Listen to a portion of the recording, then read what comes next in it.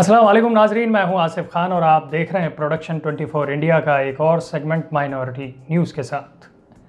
आज हम आपको लेके चल रहे हैं महाराष्ट्र। महाराष्ट्र के अंदर बारिश बहुत तेज़ चल रही है और यूँ पूरे देश के अंदर पेंडेमिक फैला हुआ है, यानी कि कोविड 19 कोविड 19 को लेकर जहाँ देश के अंदर अलग अलग लोग अलग अलग बातें कर रहे हैं तो वहीं कई बार हमने अस्पतालों के अंदर देखा कि कई जगह अस्पताल के अंदर डॉक्टर लोग दवाई देने के लिए मौजूद नहीं थे। वहाँ के सफ़ाई कर्मी ही लोगों को दवाइयाँ मुहैया करा रहे थे। लेकिन हम आपको लिए चलते हैं महाराष्ट्र, जहाँ पर महाराष्ट्र के अंदर, पूरे इस सिनेरियो के अंदर एक डॉक्टर हैं जिन्होंने अपना क्लिनिक अपना हॉस्पिटल और अपनी सेवाएँ बिल्कुल भी बंद नहीं करी।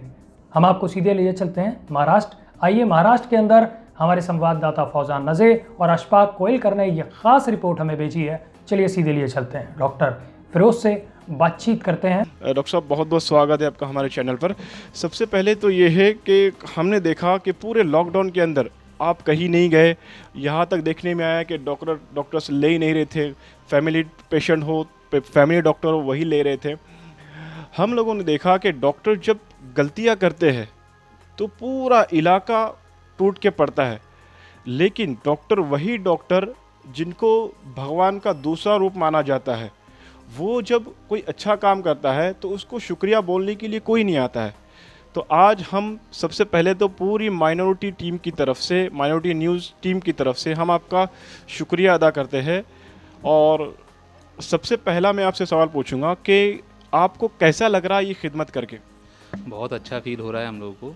और ये हम लोगों का वर्क है, ये ड्यूटी रहती है। अगर हर कोई डॉक्टर ऐसे ड्यूटी से भागने लगे तो कैसे चलेगा?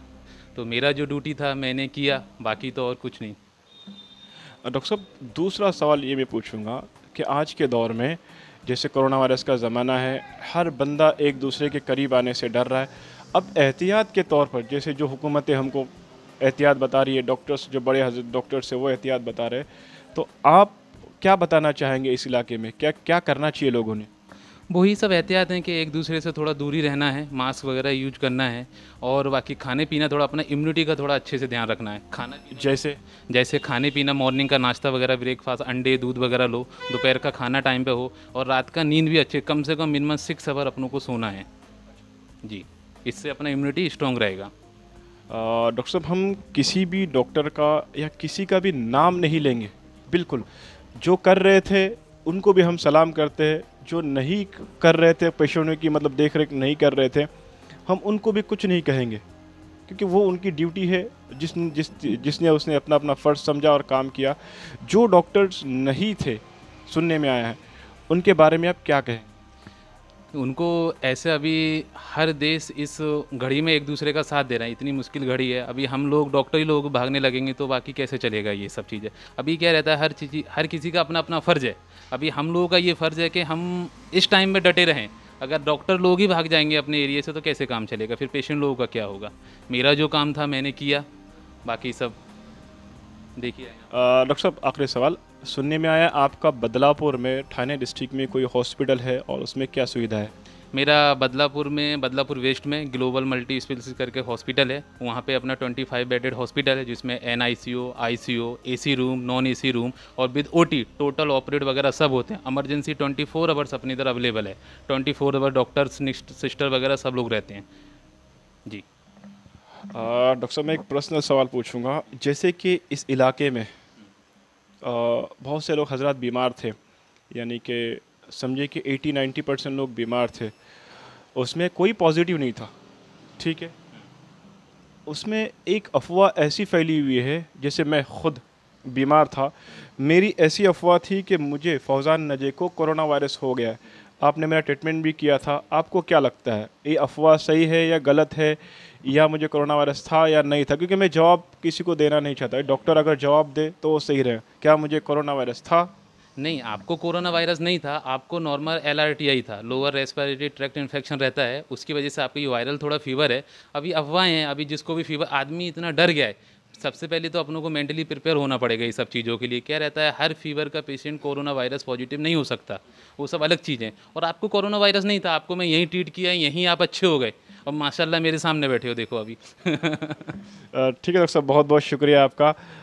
दोस्तों, जैसे कि हम लोग बात कर रहे थे डॉक्टर फ़िरोज़ अली साहब से, ये तो है यहाँ के बदलापुर के और ये दामत में आके ट्रीटमेंट कर रहे हैं। ऐसे हज़ारों डॉक्टर हैं जो खुद अपनी जान की परवाह नहीं किए बगैर, यानी कि खुद लगे हुए हैं और पेशेंट से बिल्कुल नफ़रत नहीं कर रहे।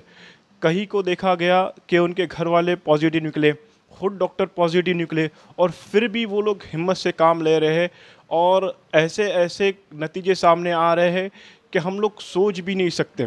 और हम सलाम करते हैं और शुक्रिया अदा करते हैं और पूरी माइनॉरिटी टीम की तरफ़ से, माइनॉरिटी न्यूज़ की टीम की तरफ़ से हम सबका शुक्रिया अदा करते हैं। ख़ास करके मैं इस चैनल पर नाम लूँगा ताज हॉस्पिटल के डॉक्टर साजिद टाके साहब डॉक्टर जालगावकर साहब, और मैं कई डॉक्टरों को नहीं जानता। मैं उनका भी नाम लेना चाहता हूँ। मैं कई डॉक्टर से पर्सनली जाके मिला कि डॉक्टर साहब, आप हमें इंटरव्यू दे दो। लेकिन कुछ मजबूरियाँ ऐसी होती है, कुछ बातें ऐसी होती हैं। कहीं पर पर्सनल फ़ोन पे बात हुई। लेकिन जिन लोगों ने खिदमत की, वो तारीफ़ के लायक है। जिन्होंने नहीं की, वो उनका मसला है। कैमरामैन अशफाक कोयलकर के साथ फौजान नजे, माइनॉरिटी न्यूज़ के लिए।